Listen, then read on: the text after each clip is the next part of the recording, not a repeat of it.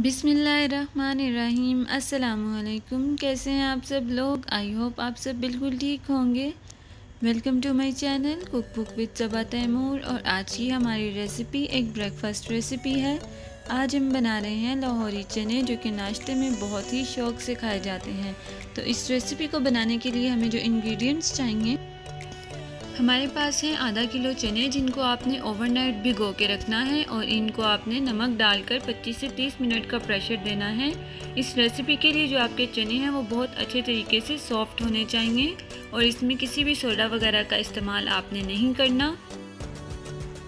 इसके साथ हमारे पास है ये बीफ स्टॉक स्टॉक बनाने के लिए आपने लेनी है हड्डियाँ। उसमें चार से पाँच जवे लहसुन के, चार कप पानी और एक खाने का चम्मच नमक डालकर 25 से 30 मिनट का प्रेशर देना है और इस तरह से ये बीफ स्टॉक जो है वो हमारे पास रेडी हो जाएगा। आप इस तरह से चिकन का और मटन का स्टॉक भी बना सकते हैं। इसके साथ हमारे पास हैं चार अंडे बॉईल किए हुए। स्पाइसेस में हमारे पास है नमक, हल्दी, पिसा हुआ धनिया कुटी हुई लाल मिर्च, पिसा हुआ गरम मसाला, पिसा भुना ज़ीरा, पिसी हुई काली मिर्चें, चार से पाँच हरी मिर्चें, एक अदरक का टुकड़ा और एक दरमियाने साइज़ का प्याज। और इसके साथ हमारे पास हैं ये छः से सात जबे लहसुन के, जिसको आपने ओवरनाइट पानी में भिगो के रख देना है। और फिर इसको छान कर इस पानी में आपने इस अदरक और हरी मिर्चों को अच्छी तरह से ग्राइंड कर लेना है। ये देखें, इस तरह से आपने इसका पेस्ट बना लेना है। और इसके साथ जो हमारे पास एक प्याज था, उसको इस तरह से स्लाइसिस में आपने काट लेना है।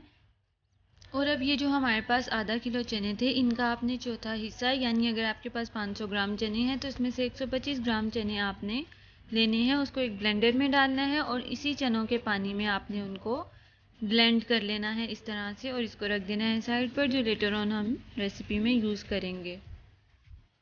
अब एक पैन में हम one and half cup of oil add करेंगे। इस रेसिपी में ऑयल जो है वो थोड़ा ज़्यादा यूज़ होता है। और इसके बाद हम इसमें जो हमने प्याज काट के रखा था, वो शामिल करेंगे। और इस प्याज को आपने गोल्डन ब्राउन होने तक फ्राई करना है। ये देखें, प्याज जो है वो फ्राई हो गया है। अब इसके बाद जो हमने अदरक और हरी मिर्चों का पेस्ट लहसुन के पानी में बना के रखा था, वो ऐड करेंगे। इसको ऐड करते हुए आप फ्लेम को ऑफ़ कर दें। इसको अच्छी तरह से मिक्स करेंगे और इसको हम कवर करके रख देंगे दो से तीन मिनट के लिए।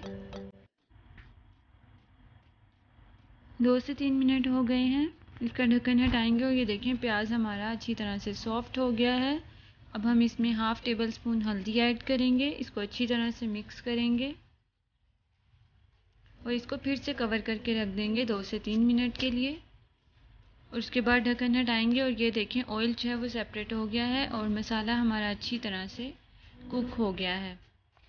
अब इसमें हम two tablespoon red chili flakes add करेंगे। इसको अच्छी तरह से मिक्स करेंगे और quarter cup beef stock add करेंगे ताकि जो आपका मसाला है वो नीचे स्टिक ना हो। इसको अच्छी तरह से आपने भून लेना है। हाई फ्लेम पर। और ये तड़का हमारा रेडी हो गया है। इसके ऊपर जितना भी ऑयल है, उसको आपने सेपरेट करके रख लेना है। इसके बाद इस तड़के में हमने जो चने बॉईल करके रखे हुए थे, वो ऐड कर देंगे। इसको अच्छी तरह से मिक्स करेंगे। और इसके बाद जो हमने बीफ स्टॉक बनाया था, जो ऑलमोस्ट थ्री कप्स है, वो ऐड करेंगे।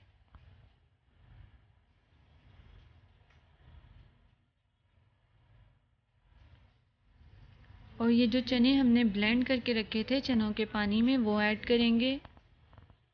इसको अच्छी तरह से मिक्स करेंगे और मीडियम फ्लेम पर इसको बॉईल आने तक रख देंगे। इसके साथ हम इसका स्पाइस मिक्स रेडी करेंगे। इसके लिए हमारे पास है one and half tablespoon पिसा हुआ सूखा धनिया हाफ़ टेबल स्पून पिसा भुना ज़ीरा वन टीस्पून पिसा हुआ garam masala one and half teaspoon पिसी हुई काली मिर्च नमक हम इसमें ऐड नहीं करेंगे क्योंकि नमक जो हमने चनों को बॉईल करते हुए और स्टॉक बनाते हुए ऐड किया था। इस स्पाइस मिक्स को हम चनों में ऐड करेंगे, इसको मिक्स करेंगे और इसको आपने कवर करके रख देना है 30 से 40 मिनट के लिए लो फ्लेम पर। और ये देखें 30 से 40 मिनट के बाद जो हमारे चने हैं वो बिल्कुल रेडी हैं।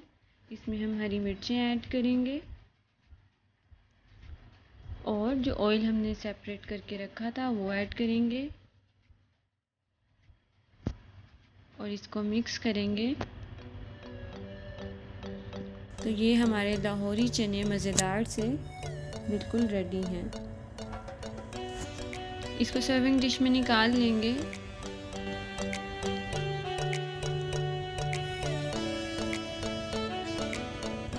और जो अंडे हमने बॉईल करके रखे थे, वो इसमें शामिल करेंगे।